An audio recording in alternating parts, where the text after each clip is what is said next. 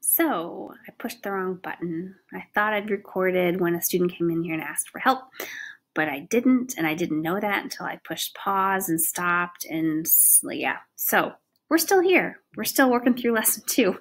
We'll get there some point. Um, I hope you're watching all three parts. So in the other equation, what quantities do we know? When might it be useful? So yeah, the second equation, if we're comparing a bunch of car prices, it'd be very useful. The first equation, if we know all the things about a particular car and we're trying to figure out the total cost of that one car, the first equation is more useful.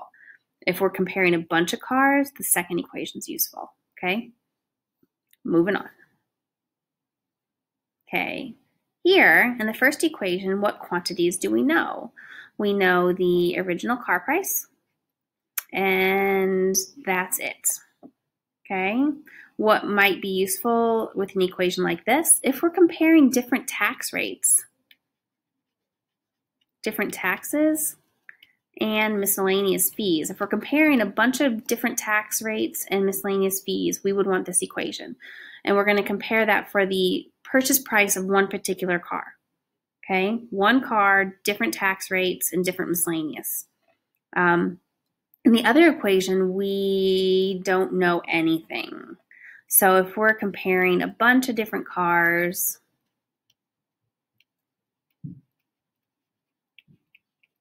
a bunch of everything, a bunch of different cars, a bunch of different tax rates, there's our taxes, there's our purchase price, there's our purchase price, there's our miscellaneous fee, and our total cost. Um, all of the things are replaceable in that equation.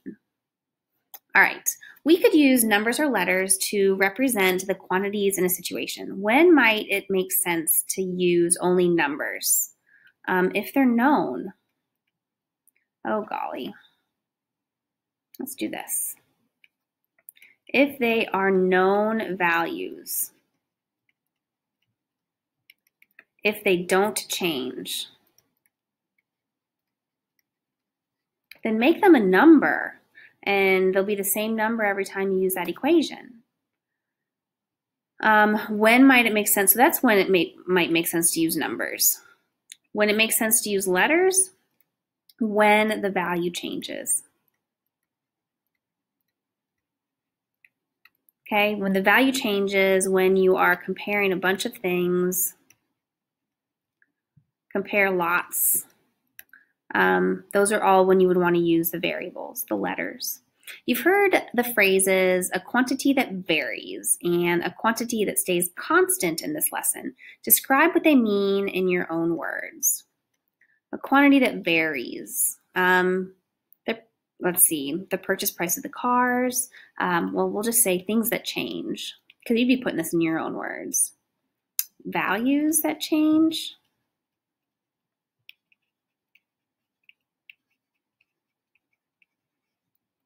And then a constant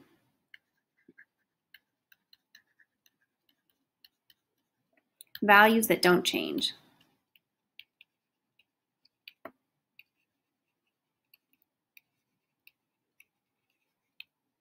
Okay, the constants are the numbers that don't change. Okay, the variables are the letters, the varies that vary, they change. Um, you can replace them with other numbers. So, what we did today, I can tell which quantities in a situation can vary and which ones cannot. Um, these are the letters. And these are the constants. I can use letters and numbers to write, and we did that. We had lots of stories that we changed into letters and numbers um, to write equations representing the relationships and situation. And then the review of our two vocabulary words so far.